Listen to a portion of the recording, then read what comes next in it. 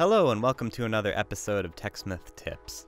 This week I'm going to be talking about cropping video in Camtasia.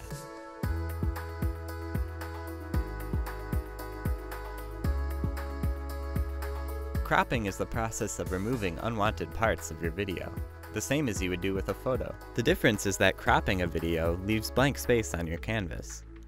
While it's possible to change your canvas to fit the size of the cropped video, that can lead to black bars on YouTube and other hosting sites due to the uncommon resolution.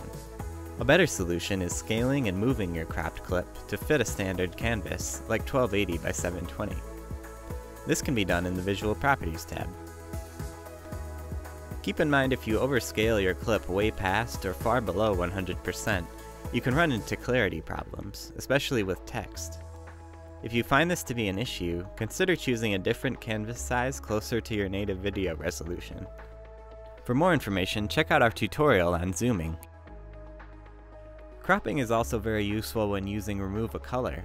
Sometimes in order to get the shot you want, it's necessary to shoot outside of the edges of your green screen. As long as your subject remains in the green area, you can crop the rest of the frame and have a clean layer that can be moved and scaled. Check back weekly for new TechSmith tips. Thanks for watching.